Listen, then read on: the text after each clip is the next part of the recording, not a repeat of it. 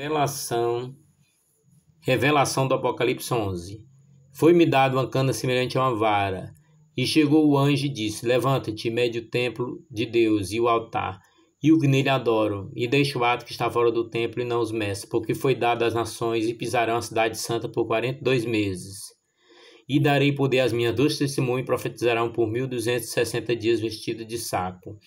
Estas são as duas oliveiras, dois castiçais diante de Deus da terra. E se alguém lhe quiser fazer mal, o fogo sairá da sua boca devorará seus inimigos. Se alguém lhe quiser fazer mal, importa que assim seja morto. Este tem poder para fechar o céu para que não chova no dia da sua profecia. Tem poder sobre as águas para convertê-la em sangue. E para ferir a terra com toda sorte de praga, todas as quantas vezes quiserem. E quando acabar o seu testemunho, a besta que sobe do abismo fará guerra e os vencerá e os matará e jazerão seu corpo morto na praça da grande cidade que espiritualmente se chama Sodoma e Egito, onde nosso Senhor também foi crucificado. E homens de vários povos, tribos, línguas nações verão seu corpo morto por três dias e meio, e não permitirão que seus corpos mortos sejam postos em sepulcros. E os que habitam na terra se regozirão sobre eles, se alegrarão e mandarão presente uns aos outros, porquanto esses dois profetas tinham atormentado os que habitam sobre a terra. E depois daqueles três dias e meio, o Espírito de vida vindo de Deus entrou neles, puseram-se sobre pés, caiu grande temor sobre os que o viram. E ouviram uma grande voz do céu que lhe dizia: Subi para aqui. E subiram ao céu em uma nuvem, e os seus inimigos viram.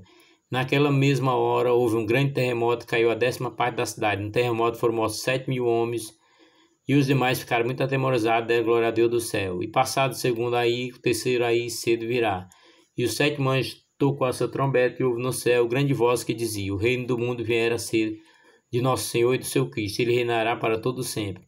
E vinte e quatro anciãos que estão assentados em seu trono diante de Deus prostraram-se o seu rosto e adoraram a Deus, dizendo: Graças te damos, Senhor Deus Todo-Poderoso, que és, que era, que há de vir, que tomaste o teu grande poder e reinaste. Iraram-se a nação e veio a tua ira, e o tempo dos mortos, para que sejam julgados, e o tempo de dar o galardão aos profetas. Teus servos e aos santos, e aos que temem o teu nome, pequenos e grandes, e o tempo de destruir os que destroem a terra. E abriu-se no céu o tempo de Deus, e a arca da sua aliança foi vista no seu templo, e houve relâmpagos e vozes, trovões, terremotos, e grande saraiva.